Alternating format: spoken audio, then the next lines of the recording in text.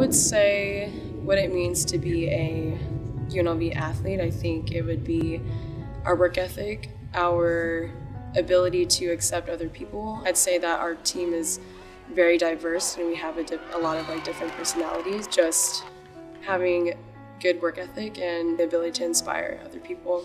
From a junior college in California, Antonette Rolda had to adjust to the bright lights of Las Vegas in the competition at a D1 school. Coming in, I didn't know a lot of things because of the level that I was playing at beforehand. I mean, playing at a D2, it's not as strict. I had to learn a lot coming in, um, whether that was in the weight room, or in the gym or even time management. We do have study hall hours and we take school very seriously besides volleyball. But other than that, yeah, there's a lot of aspects that I had to learn when I came. For Rolda, there's a deeper meaning to the sport.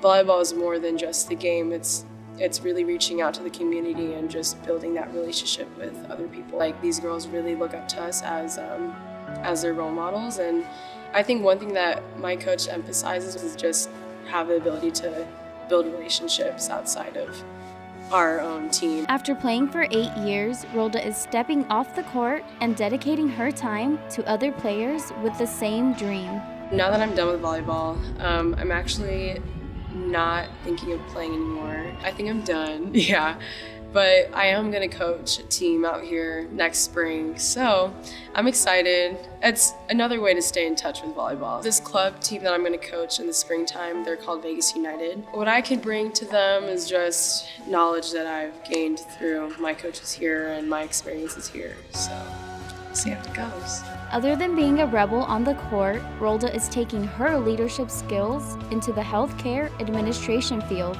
My parents were already in healthcare. Just seeing how like my parents were able to make an impact in helping people. I mean, I would say that I am very similar in that way and I've always wanted to help people. I wasn't really sure how I wanted to do that growing up, but as I got older, it just kind of stuck out. Like healthcare administration was just like something that really like stuck out to me.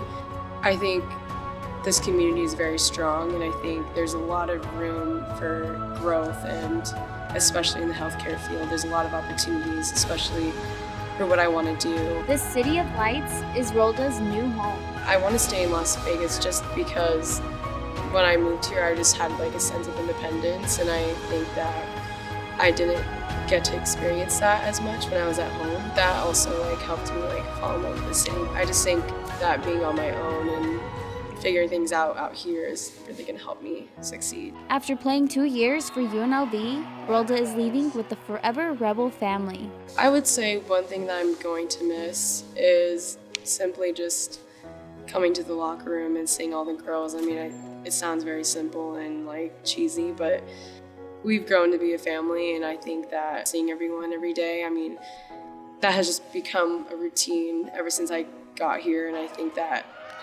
the amount of support that we have for each other is just tremendous. And I think that that's definitely one thing I'm gonna miss is just seeing everyone's faces every day. So.